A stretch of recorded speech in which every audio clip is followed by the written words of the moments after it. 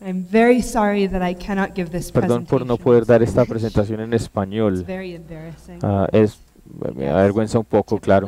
Eh, So soy típicamente de. Estados Unidos, entonces por favor ofrezco disculpas y gracias a los intérpretes que ya lo están haciendo posible. El título de mi charla es Designing for Fandom, pero antes de llegar allá quisiera decir un par de palabras sobre Um, mi compañía. The Alchemist el alquimista, es una compañía integrada de transmedia. Vamos desde, uh, bueno, desde principio hasta el Um, final. Como dice la expresión. Inventamos historias, tenemos la capacidad de producir historias sobre las plataformas y cooperamos con grandes marcas y principales universidades e interactuamos con los seguidores Um, para ayudar a las comunidades a entregar resultados. Entonces, eh, en términos de liderazgo, comunidad, etcétera. Y aquí tenemos cuatro pilares para la compañía.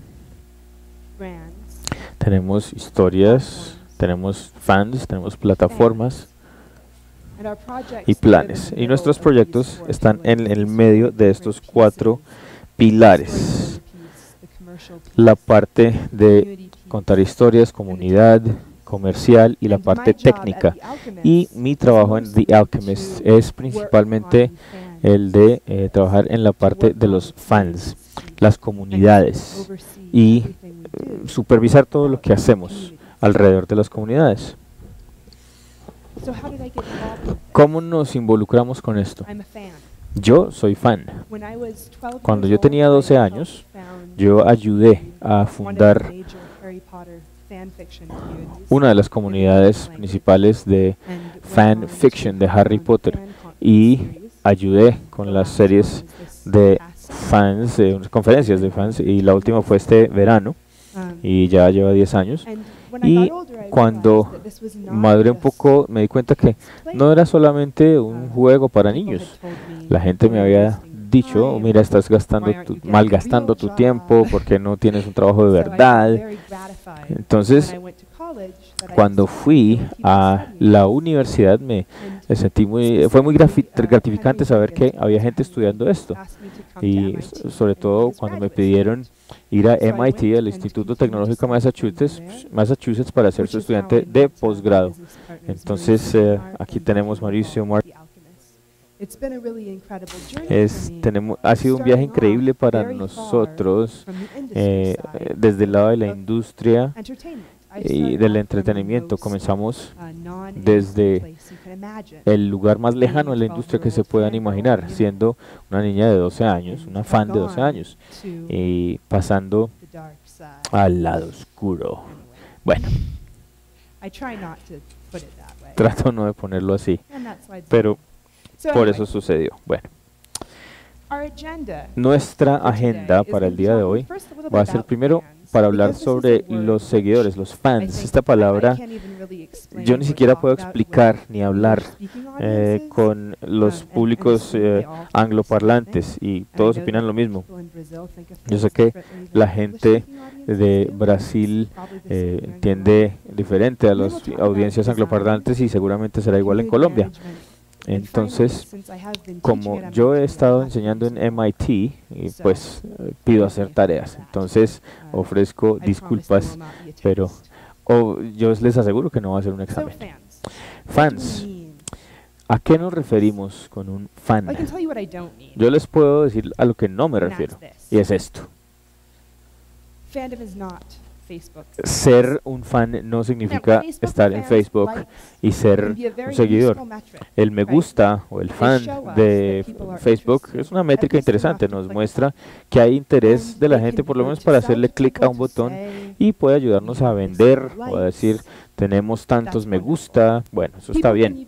La gente incluso puede verse eh, motivada a usar Facebook para estar con una historia y yo sé que no, no estarán en desacuerdo, pero cuando hablo con las personas sobre "Oh, los fans, Facebook?" dicen, ah, Facebook. No. No, me refiero a eso.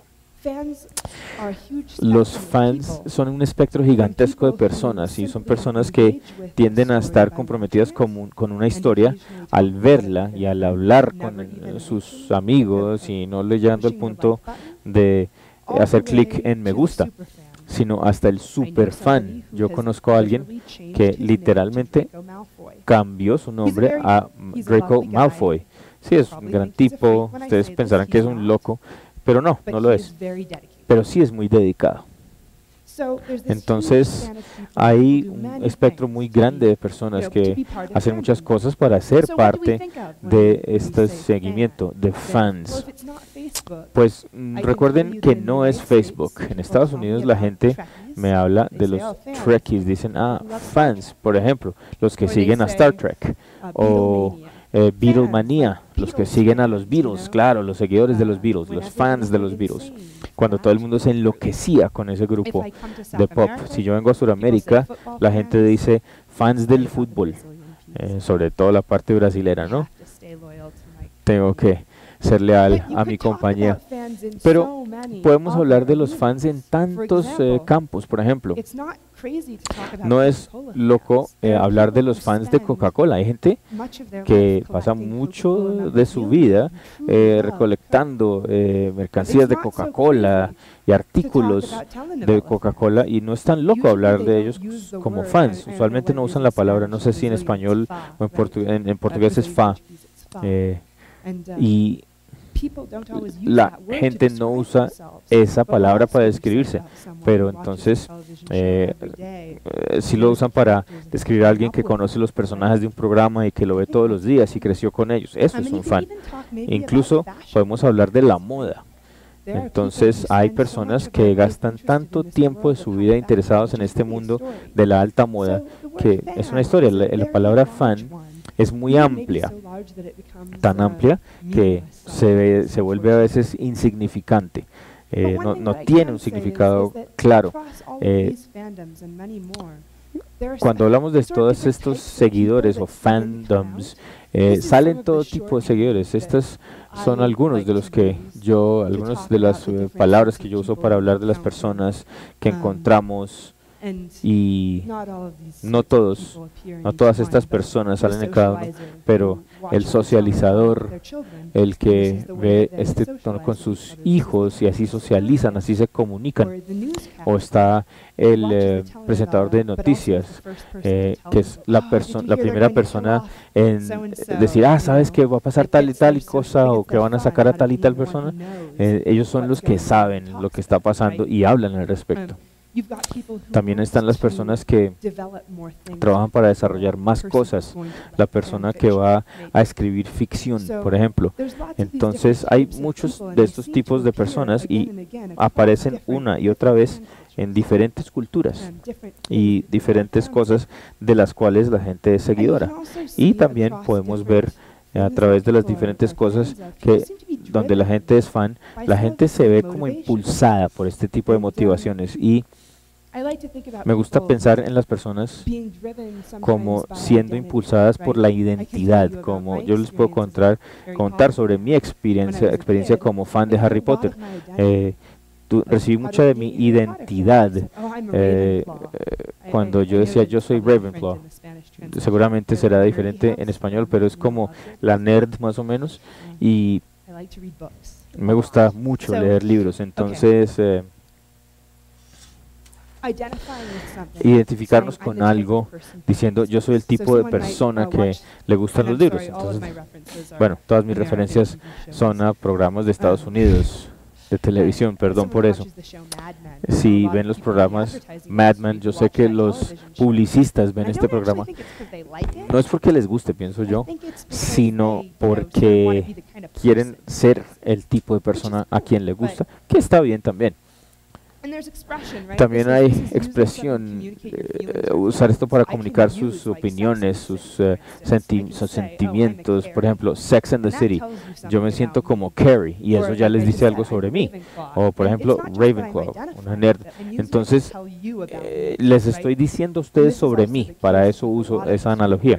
También es el caso de esas cosas tipo nerd eh, para la gente ficción, los que crean los wikis, todas esas personas usan eso para comunicar a los demás sobre ellos mismos, usando un lenguaje común de, de entretenimiento. Este es el consumo, este es el momento cuando ustedes y su mamá se sientan a hablar de la telenovela o que todos los seguidores están en los Avengers, los Vengadores, y también van a ver la 2 porque esto les va a ayudar a ser parte de este colectivo. Y finalmente está la construcción de una comunidad más ligera. Aquí tenemos ese tipo de seguimiento. La gente construye comunidades alrededor de Harry Potter. Los irregulares por Sherlock Holmes y entrar y ahí son parte de la red que llega alrededor del mundo. Después de esto, porque cada vez que hablamos, alguien viene y me dice, uy, me encanta Harry Potter. Y entonces hablamos de esto como por tres horas. Y eso va a suceder acá también seguramente. Y es porque nosotros nos vemos como parte de esa comunidad de fans que es global. Bien.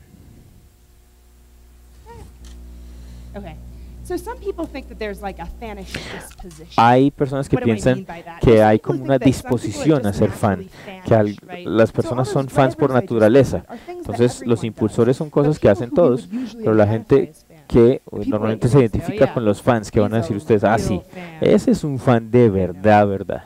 Sí. No sé, estoy pensando en un buen equipo de fútbol, pero solo puedo pensar en los brasileros. Um, pero Oh, no diríamos, bueno, esto es un fan de esto, es un fan de lo otro, eh, pero no todos son así. Hay muchas personas que toda su vida oh, no, cuentan con eso y dicen, ah, sí, yo soy fan de esto, de lo otro. Yo, a mí no me gusta hablar de esto mucho, aunque a muchas personas sí. Y hay una razón simple. Mucho de lo que yo estoy hablando hasta el momento sugiere que ser fan es esa cosa monolítica, grande. O somos fans o no somos fans. Y si lo somos, podemos ser fans de cualquier cosa. Podemos estar en los eh, juegos un día y en los Vengadores el otro día y otra cosa mañana y todos los días vamos a estar en algo. Y no es así, no es cierto. Esto es una cultura, ser fan. Es, son las cosas eh, que usamos para describirnos a nosotros mismos y nuestras comunidades. Podemos hacer teorías sobre los fans, pero es lo mismo que hacer teorías sobre los religiosos, por ejemplo. Hay muchos religiosos en todo el mundo y adivinen qué, a muchos no les caen bien los otros y creen que no tienen nada en común. Pero si estamos tratando de hablar de un grupo de personas, no va a ser muy bueno eh, referirnos solo a uno, a pesar de que todos los religiosos son así, por ejemplo, porque puede no ser cierto. Cuando escuchamos esta pregunta, de cómo hablo con los fans, que es una pregunta que me hacen mucho y a veces sin más contexto, alguien viene y me dice, ¿qué creen ustedes que es lo más importante al hablar con los fans? Y yo, yo digo, no sé, ¿fans de qué? Las fans, ¿Los fans de dónde? ¿De cómo? Um, en fin, yo diría que suponiendo que hay una propiedad, algo que estamos construyendo o hemos construido y queremos saber cómo interactuar, lo hacemos a través de partes y una es como... Um, eh, gracias.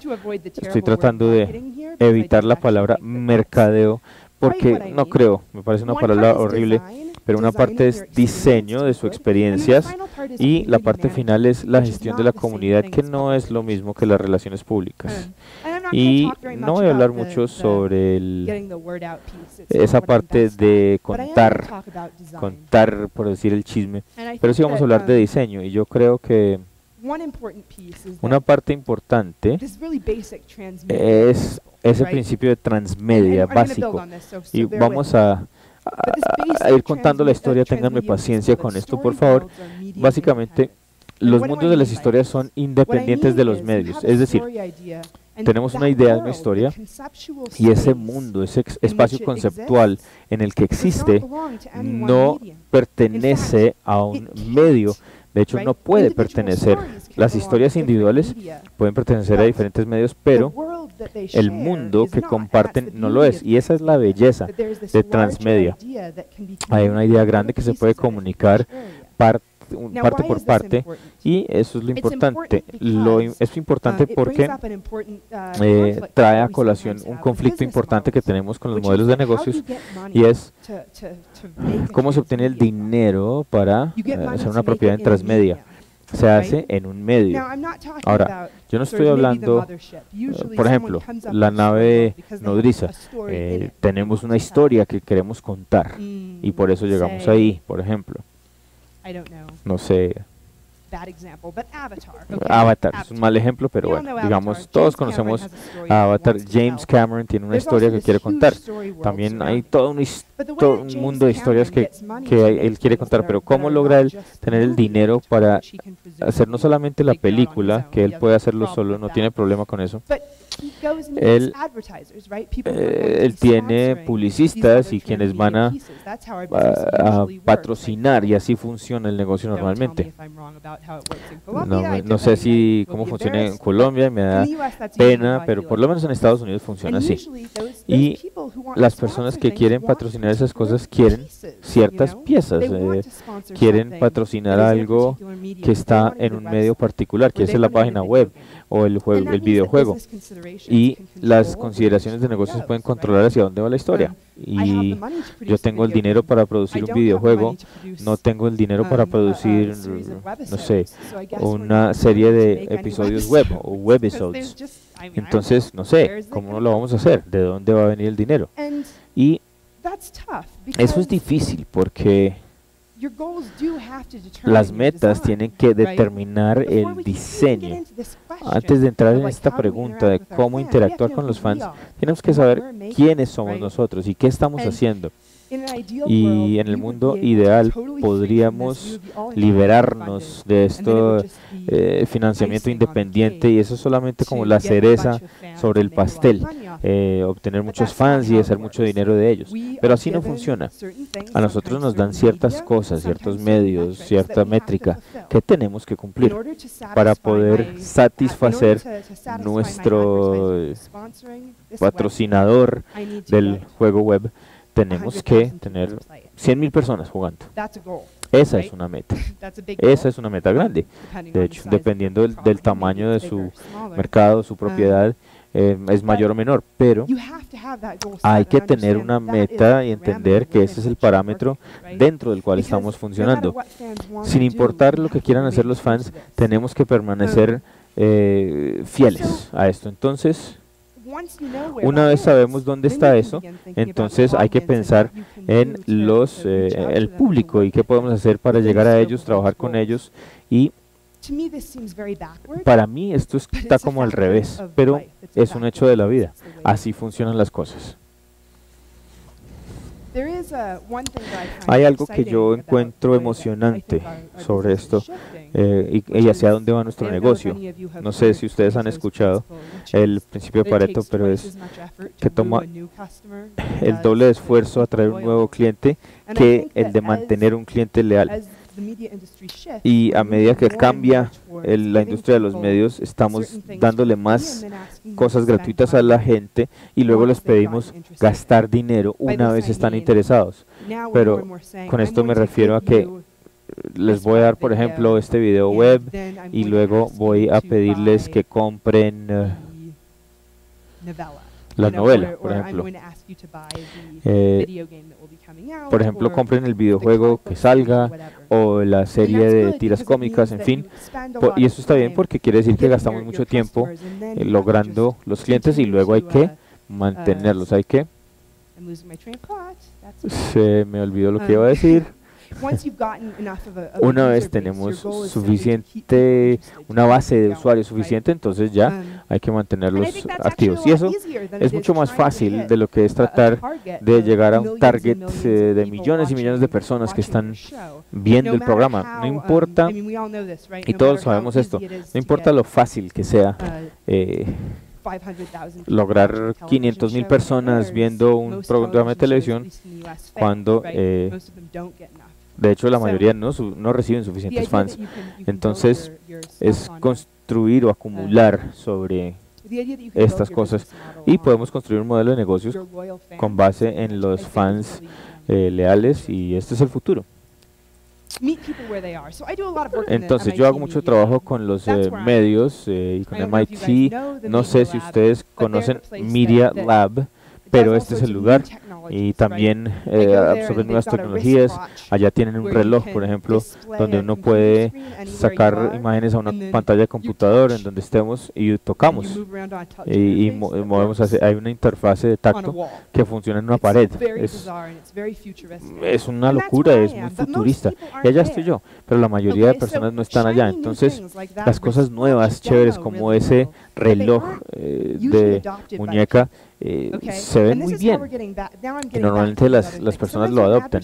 Entonces, cuando tenemos un publicista que quiere esa cosa nueva, brillante, está bien, pero no le está llegando a la gente donde debe llegarle, no van a estar ahí como interesados en lo que estamos haciendo, porque se salen de su zona de confort. Es decir, eh, esa no es la industria del entretenimiento, así no es como lo hacemos normalmente. Entonces, así como puede ser emocionante para ustedes, ustedes tienen que salirse de su propia cabeza y empezar a pensar en la cabeza del fan, pensando, ¿dónde está esa persona en mi público? Esa es la forma en que hablamos mucho de esto cuando la gente le encanta esa nueva tecnología brillante nueva. Así no es. Cuando somos honestos con nosotros mismos, si alguien nos da unas nuevas gafas eh, Google, se verían bien pero ¿qué tal si son la única persona del mundo que las usa? De todos sus amigos, eh, son los únicos que están usando eso. Y de pronto, entonces hay cosas chéveres que nadie sabe cómo funcionan. Pues no las quitamos. Yo también me las quitaría si nadie más las tiene. Hay que tener cuidado hacia dónde llevamos el límite tecnológicamente para asegurar que no perdamos enfoque de estas metas. Entonces, uno de los proyectos que hemos hecho eh, ha sido este show. East Coast High.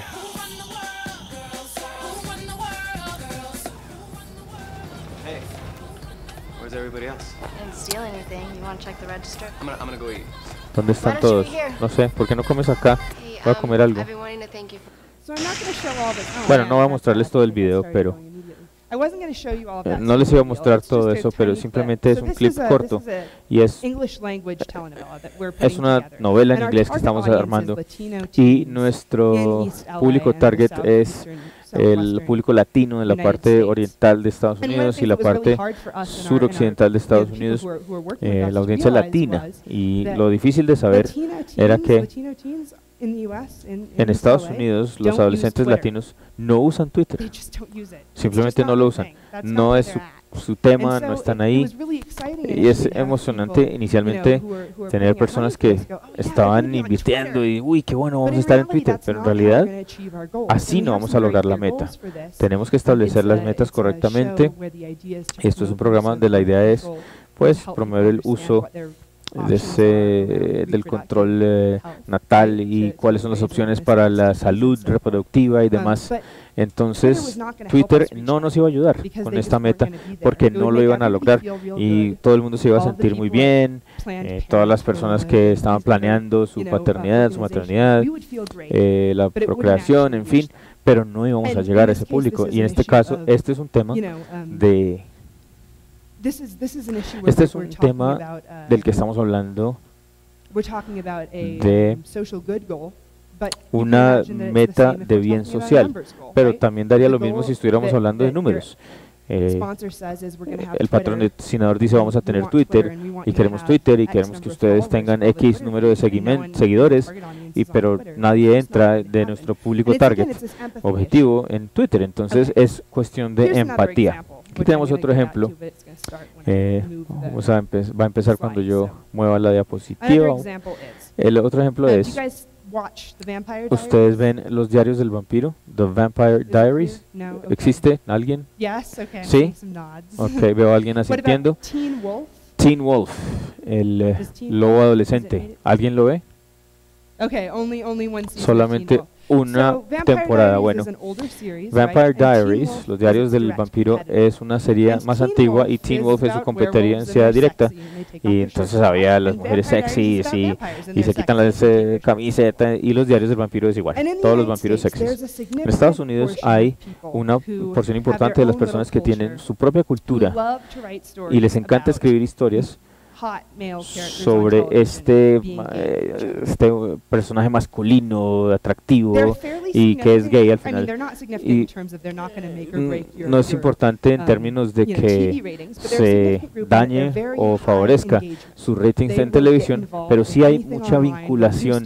La, ellos, la gente se mete con ellos en línea, habla con ellos. Entonces, sabemos que este grupo de personas se han movido de programa a programa. Les interesaba mucho lo supernatural, eh, les encantaba la red CW y bueno, había mucha audiencia y muchos estaban eh, interesados en los diarios del vampiro, pero los diarios del vampiro no estaba interesado en ellos. Ellos en realidad no querían, pienso yo, y no he hablado con nadie al respecto, um, eh, pero era la gente que quería que el show se asociara con esto y querían un éxito um, principal o um, mainstream. Y Teen Wolf, pues sí, tenía un éxito, se estaba moviendo, pero no tenía ese, ese, ese cuerpo de seguidores, esos super usuarios, esos que los iban a impulsar para siempre no tenían ese grupo de personas. Entonces eh, eh, es, hicieron este video muy muy inteligente que les voy a mostrar.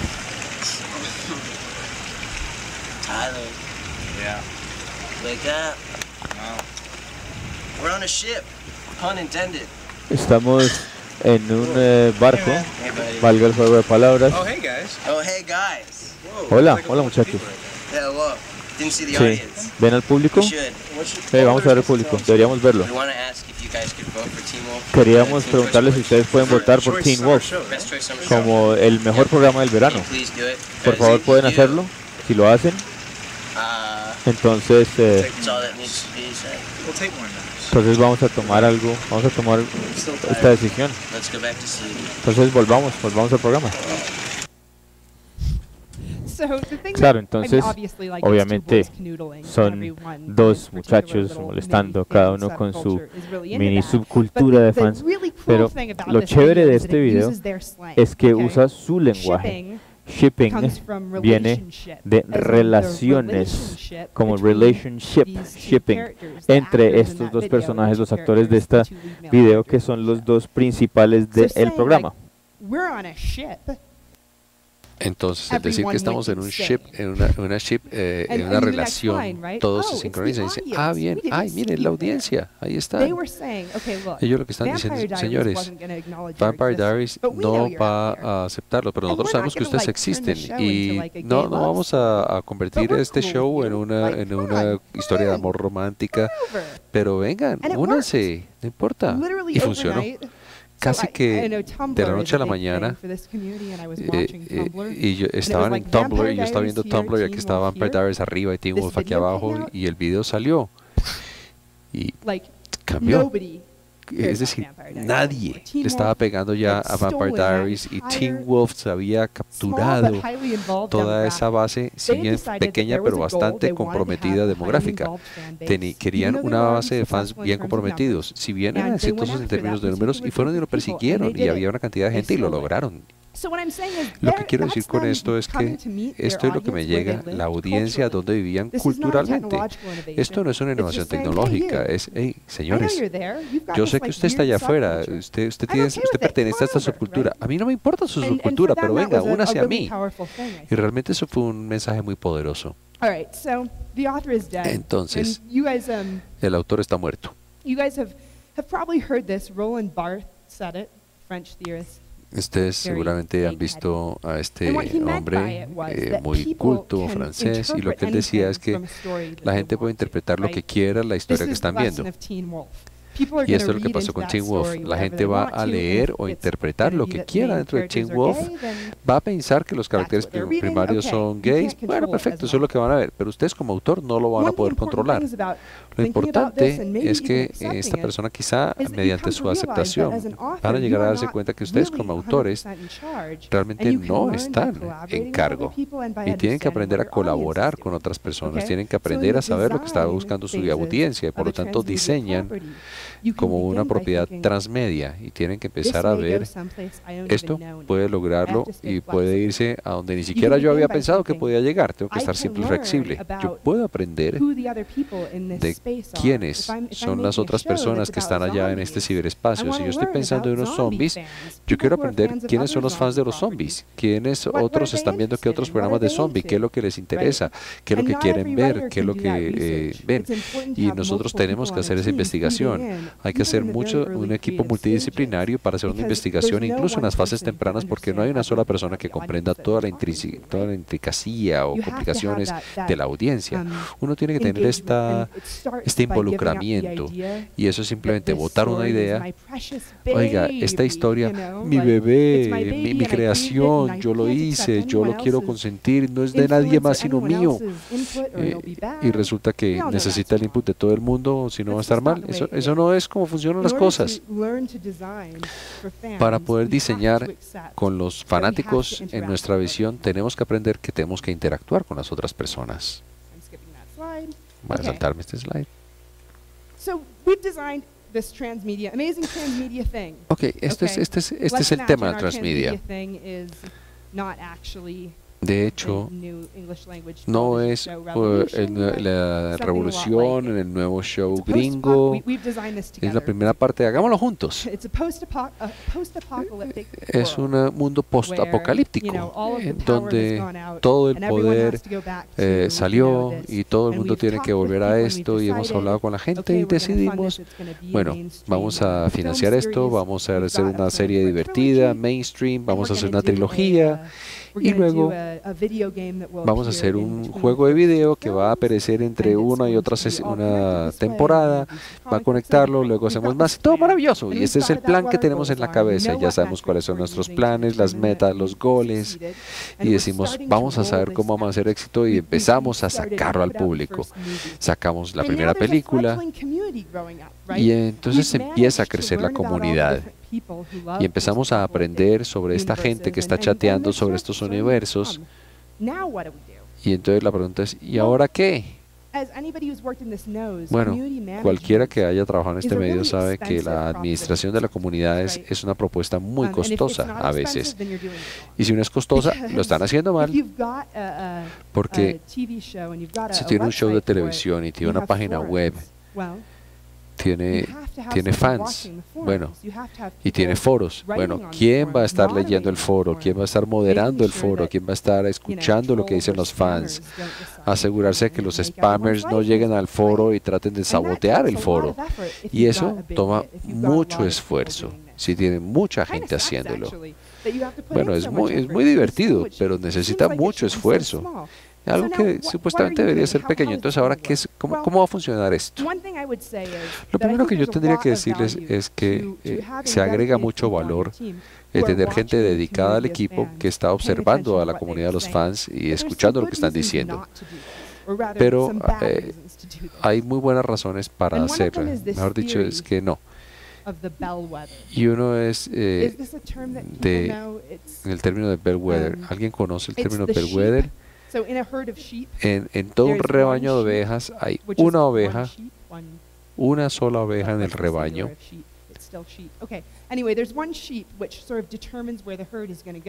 que es como la líder, la que dice que a dónde va. Y la ciencia ha dicho, oiga, uno puede identificar quién es la oveja líder. Y mucha gente cree que si uno puede, eh, en este reino de fanáticos, uno puede encontrar a quién es el loco, que es el superfan, que estudia la comunidad. Uno sabe para dónde va a ir todo el mundo. Todos van a estar siguiendo a este superfan. Esto es mierda. Esto no es correcto. Esto es paja. Y esta no es la razón por la cual deben estar estudiando sus comunidades de fans. Olvídense o ponerle cuidado a su comunidad de fans. Porque la gente que está posteando en el foro eh, no siempre la gente que va a estar viendo este, este cine de gran presupuesto. Aún si llegásemos a tener a, qué sé yo, 20 mil personas activas en el foro todos los días, aún así va a ser una mi ínfima tajada de toda nuestra base de, observadores. O sea,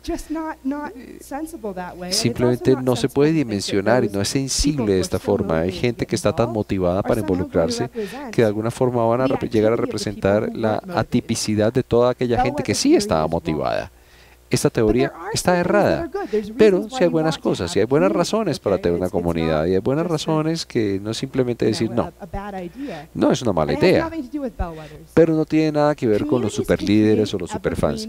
Las comunidades que crean propiedades que son siempre prósperas. La teoría dice, ustedes van a tener un grupo de fans y ustedes van a estar adelante de la curva al saber qué es lo que van haciendo si ustedes hacen seguimiento a esta persona que resulta importante para el grupo. Esta idea sí es distinta. Esta es, oiga, tengo 20.000 personas en el foro y sabe que en 10 años todavía van a estar comprando la super nueva edición especial de DVD y entre 10 años 20.000 ventas de una venta de un super especial reencauchado, remasterizado va a ser una buena venta. Es un grupo pequeño, pero van a pelear para seguir este grupo vivo. Déjenme de un ejemplo. Buffy, la cazadora de vampiros. Okay. Buffy the Vampire Slayer. Buffy la cazadora de vampiros. Cine. Y ya pasó. El show de televisión. Ya. Eh, fue pulpo, fue increíble. Y después de ese show salió Angel, Ángel. Pero ahora ya hay revistas de Buffy, hay novelas de Buffy, hay una cantidad de cosas asociadas a Buffy que todos los que han trabajado en Buffy pueden más o menos en cualquier fin de semana encontrar algo nuevo que ha salido con Buffy. Y estoy seguro que cualquiera que haya actuado esa puede ser eh, la diferencia entre que lo vuelvan a contratar o no. Esa es la gente que les van a dar un trabajo permanente de por vida. No siempre, no, siempre los van a hacer ricos, pero les van a causar una, una, una base de ingresos permanente que va a pagar a largo plazo. Entonces es una buena propuesta de venta a la gente. Es muy complicado especialmente complicado cuando uno está con luchas momentáneas de negocios. Y entonces llegamos a esta palabra que asusta a todo el mundo. ¿Control? Tengo 20.000 personas en mi foro. Oiga, ¿por qué no se da el gusto de contratar un moderador o a un administrador de la comunidad que va a estar sobreviviendo, sobreviviendo todo, supervisando todo y va a descubrir que hay una gente que se puede confiar, que nos puede motivar o incentivar? Pero de repente surge este problema, que hay eh, gente metiendo ficción, fans al foro y solo hay uno o dos. Y, y luego el publicista se da cuenta y dice, ¿sabe qué? Se supone que esto solamente debía ser eh, referido a, la comedia. Esta gente ya está acá a publicar una historia donde uno de los caracteres mató a otro y podría haber utilizado el nombre de la compañía o involucrado el nombre de la compañía, porque nosotros somos los proveedores de teléfonos. No lo usen el mal ejemplo, disculpe. Sea lo que sea, eh, el celular es, eh, es un sponsor, es un fabricante. ¿Qué hacemos? ¿Cómo arreglamos este cacao que se nos viene encima? Bueno, ese es un problema a, largo plazo, a corto um, plazo, en comparación con el impacto a largo plazo. Porque cuando uno se conforma, eh, enfoca en la comunidad y decir, no, no puede publicar, está haciendo una contraprestación. Está haciendo al publicista contento, pero le está mostrando a la comunidad que usted está interesado en controlar y no en permitir un diálogo abierto al interior del foro. Y esto es muy distante. No sé de dónde vienen ustedes, pero quizá algunos de ustedes vengan de las compañías de televisión o telefónicas. En el pasado no había mucha interacción, pero la Internet es otro campo de juego. En la Internet cualquier persona tiene la misma, bueno, casi la misma voz. Uh, no es eh, una cosa de que yo lidero la comunidad y yo no puedo decir, aquí, ah, ah, esto no va.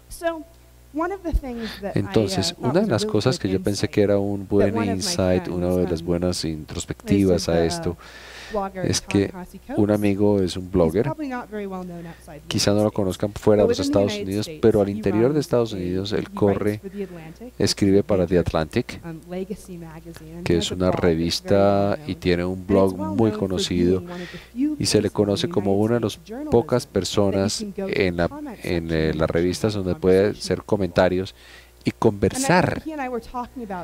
Y aquí estamos, él y yo hablábamos al respecto de que uno puede conversar y él decía, yo no controlo quién llega a mi sitio. Simplemente no lo controlo.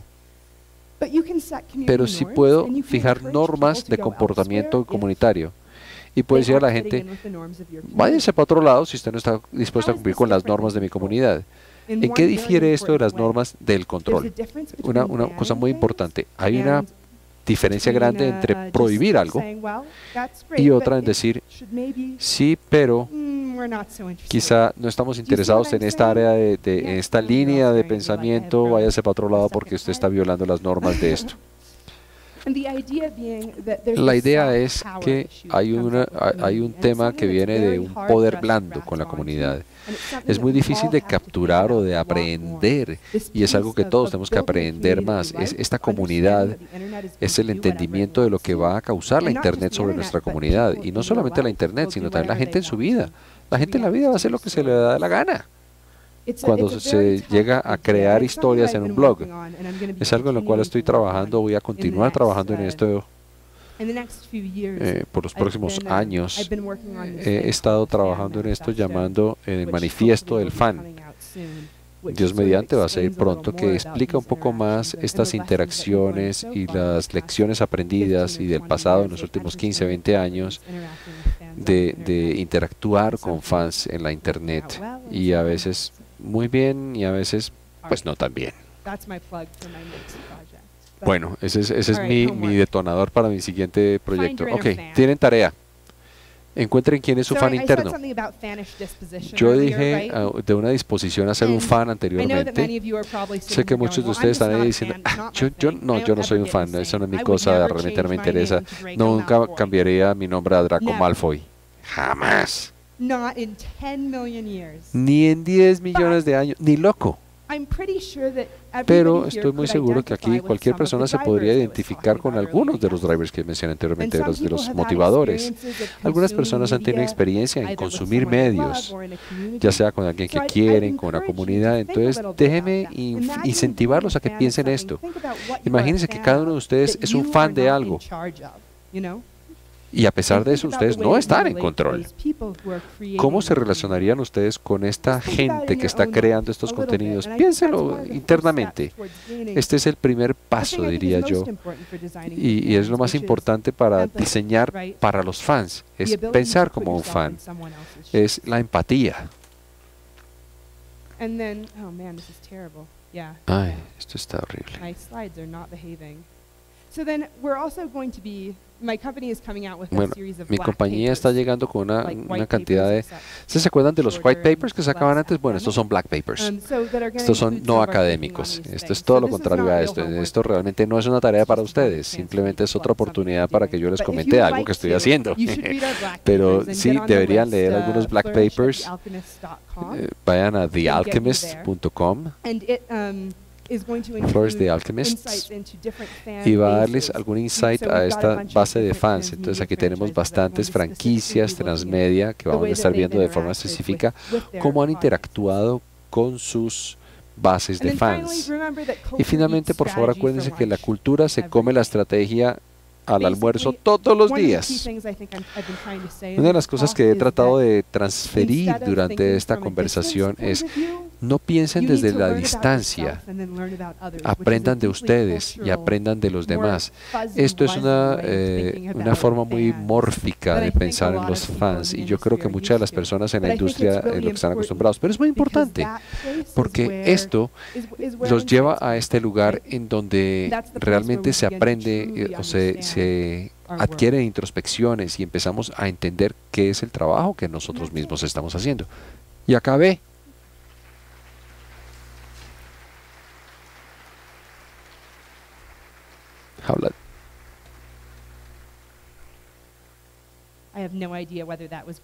No tengo ni idea si ese aplauso fue por bueno o por malo, pero espero que haya sido por bueno. Vamos a tener preguntas. Esto quiere decir que tengo que ponerme el audífono. Does anybody has any question for Flourish?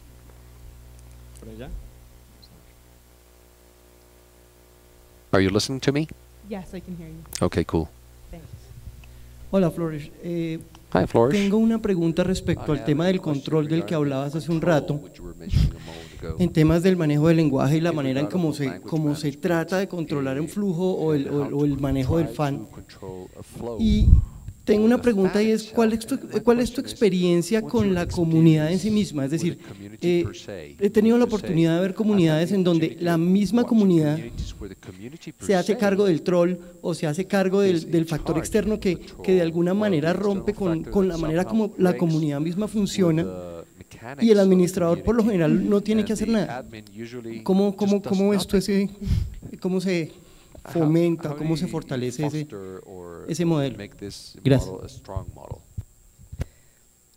Okay, well, I'm not bueno, no estoy 100% segura que entendí todo lo que acabas de preguntarme, pero espero que sí voy a poder contestarlo de todas formas. Creo que una de las cosas sobre el um, control es que eh, Piénsalo que aquí hay gente, que hubiese gente online en este momento que pertenece a la comunidad de fans y quizá lo vayan a encontrar insultante y aún así voy a usarlo como ejemplo. Y me imagínense que ustedes son papás, son padres, ustedes son padres, tienen un chino y ustedes quieren que lleguen a, del chino que llegue del 1 al 3, diga, haga esto, no haga esto, pero lo que usted no hace con un adulto es bien distinto. Su hijo ya es su propia persona. Ellos ya pueden hacer por sí mismos. Entonces, que los quieran escuchar, y estoy seguro que cualquier papá en la audiencia van a decir, espero que no los mitifique y um, aún así me quieran después de esto, para que los puedan escuchar, ustedes tienen que tratarlos como adultos. Ellos tienen que confiar en ustedes como padres. Tienen que entender que ustedes están allá. Lo que yo tendería a decirles es que bajo el mejor escenario, antes, antes de que haya cualquier problema, la gente está construyendo estas relaciones de confianza al interior de la comunidad, para que cuando realmente se dé el problema y alguien en la comunidad está haciendo algo que, que la gente no le gusta, o que alguien de afuera de la comunidad llega ya a fregar y a, blasfemar, hay una base de confianza y entonces no puede ser honesto con las personas y decir, y déjeme poner un um, ejemplo. Uh, Harry Potter. Harry Potter. Hubo muchas cosas a lo largo del crecimiento de, de Harry Potter y de, uh, hubo muchos baches en el camino, pero una de las cosas, alguien dijo una, una posición muy buena y eso fue lo siguiente. En esencia dijeron, sí, sabemos que hay una base de fans y que en algunas de las fanfictions, así como Teen Wolf, hay gente que está eh, hablando de un romance de Harry Draco. Pero ¿saben qué? Lo vamos a ignorar. Vamos a decir, ¿sabe qué?